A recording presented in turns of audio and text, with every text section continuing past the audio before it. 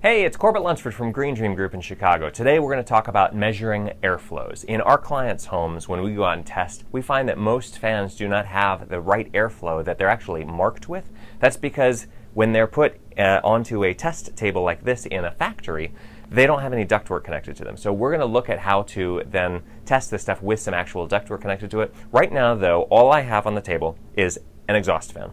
Uh, as you can see, it's moving air with the little flags here. Now, when you look at the guts of this thing, you can see clearly that this is not your average exhaust fan. First of all, we've got a very nice, very quiet motor. Uh, this is important because you're going to want to run these, obviously, and if they're loud, they're annoying. I can also have this run indefinitely at a lower CFM, and I can use this as a whole house mechanical ventilation device, which is actually required by law in our state of Illinois, and it's going to be at some point across the entire country. Now we're going to do eight tests on this fan uh, with and without ductwork connected to it. If you have any questions about all the rest of the stuff that we're going to talk about in this video, my book, Home Performance Diagnostics, describes all eight of these techniques, and anybody can get this. It's online at homeperformancebook.com. The first tool we're going to use is called a flow meter. It's a flow pan, essentially. It's a box with a hole cut into it. So I'm going to put this so that it completely covers the fan. And we have the readout right here. Now, what you're seeing on the top is the pressure inside this box with relationship to where we're standing out in the room.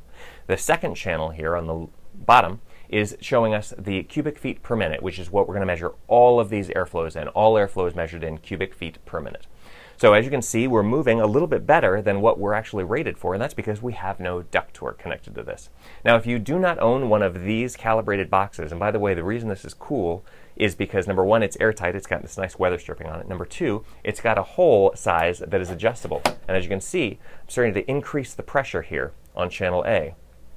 And you can also hear that the fan is gearing up that's one of the really cool features of this Panasonic fan is that it will deal with the greater resistance by fighting harder to push more air. That's something that you won't find in every fan. So if I'd like to measure this without this particular model, you could do this right now yourself by cutting a hole into a cardboard box. I'm going to show you that. Now here I have a box I made myself. Uh, cut a hole into it. It is 20 square inches, 5 inches by 4 inches. That's because that's a good size to start with. I have my smart gauge hooked up and I'm simply going to cover the hole uh, for the exhaust fan with my box. And I've got my smart gauge from Retrotec configured with the exact size of my hole so now I can both monitor the pressure, just like I was before, and monitor the CFM. I want to create an airtight seal as much as possible around this. So as you can see, we've got a pressure of negative 10 and a half and a flow of around 71 CFM, which is pretty good. So what we're going to do is, number one, place this over the exhaust fan just like before. Now what has happened right now is that we have just restricted the flow of this fan. So the fan itself, because it's super smart and awesome, is gearing up and trying to push harder because it's resisting uh, from this. So what we have here is a fan inside this. This is called a powered flow hood. So what we're going to do is use this to compensate the pressure inside this box to make sure that this box is at neutral pressure so that we know that every CFM leaving the box is the same as the CFM that are coming into the box. And once we've established what that is, 76.5 CFM, then we know that this is uh, about as accurate as we can get. This method is one of the gold standards that we're using now. We're going to show you several other methods coming up here, and let's go ahead and attach a duct to this system before we do that. Now we've hooked up the exhaust fan with a duct. This is a very big 8-inch duct. It's very unlikely that it's going to be that way in your house, but it's okay. This is a demonstration. We're going to be able to measure the airflow inside this duct. We've got several ports. First thing that we've done is we've hooked this up with a highly calibrated duct testing fan over here. Now, this fan is introducing resistance into this ductwork, just like with the other powered flow hood. So we're using a piece of equipment you might already own to build a powered flow hood essentially out of this. What we want to do, just like before, is make the pressure inside this box, this duct, equals zero uh, with reference to out here. And when we have done that, then we know that we've got the same amount of CFM out as CFM in, and that is the right number. So you're going to be able to monitor that flow right over here, and we've got it referenced right over here with our handy dandy flow pan. So what I'm going to do to get this fan to run so that we can equalize this pressure is use my smartphone app and make my smart gauge uh, activate. And we're just about to hit zero right now, and I'm reading 79.4 CFM through my duct testing fan. So that's what we're going to record for this powered flow hood in the second configuration. Next, we're going to use the pitot tube. The pitot tube measures two things. One is the total pressure, which is right here in the tip of this probe, and the other is the static pressure, which is around it. You're going to subtract, you don't have to, the gauge is going to do it for you. You're going to subtract the static pressure from the total pressure, and that gives you the velocity pressure, which tells you how much pressure there is moving this way. So what we're going to do is we've set the time average on this up to 8 seconds, and I'm going to take a uh, traverse, which means I'm going to go back and forth across this duct to make sure that I get a good sample of all of the pressures that are going on throughout it because obviously there's turbulence inside. So I'm gonna, I gotta keep it pointed into the airflow. I'm gonna go to the bottom of the duct and I'm gonna work my way back.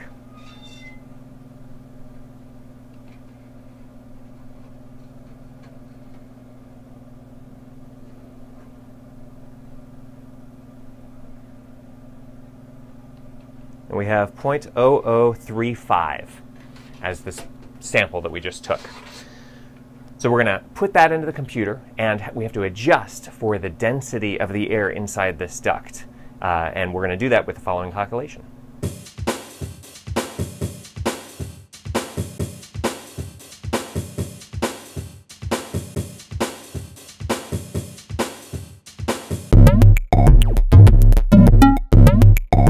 Next, we're going to use a small vane anemometer. This is meant to be inserted into the middle of a duct. I'm going to do the same exact traverse type pattern to pick up all of the different airflows throughout the duct.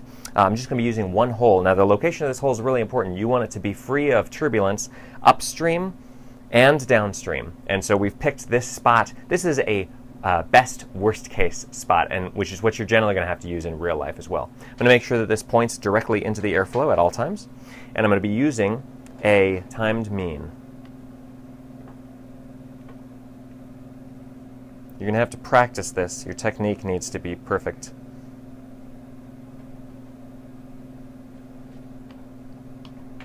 And we have a mean feet per minute of 265. So let's go ahead and put that into our calculation and figure out how many CFM that is.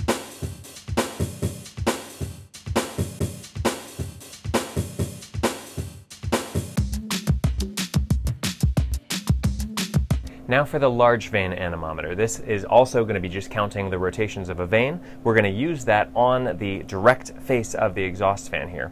Now, there's a couple things going on. Number one, we got to use a timed average just like we did before. We're going to take a reading of the entire face of this grill because there might be different turbulent features going on. The other thing is that we don't know much about this grill itself. It is going to be inducing some kind of a resistance. So in order to calculate the CFM, um, there are some funny things that happen on the supply side and return side of duct systems. So I just want to make sure you are aware of that before you start using this. Uh, and you'll see why in a minute. So I'm going to go ahead and use a timed average. Let it get running first so that the vanes start turning and I don't get a lower reading than I'm actually looking for. And I begin.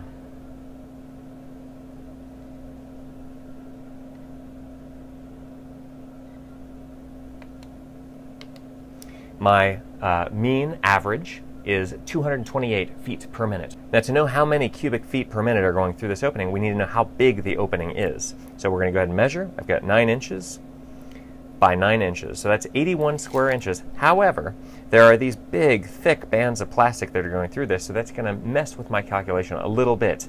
Now let's go ahead and take this off so that we can get a more direct measurement. First, I need to measure this. So I've got a six inch round. I'm going to do the calculation to figure out how many square inches that represents. Get my large vane anemometer set up with a timed average. Let the vane move. Start my timed average. And I'm done. That represents 439 feet per minute. And I'm going to go ahead and calculate how many CFM that represents.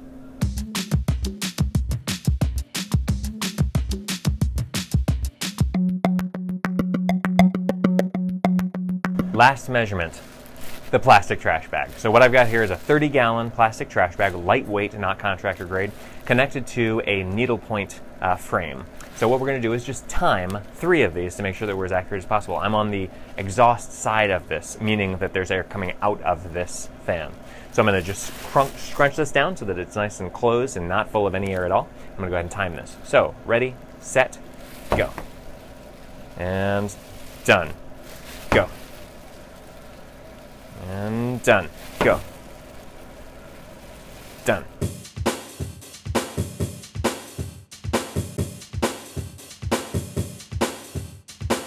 So now you've seen eight ways to measure airflow. As you have seen, some of them are more accurate, some of them are less expensive. I hope that you pick at least one because proof is possible.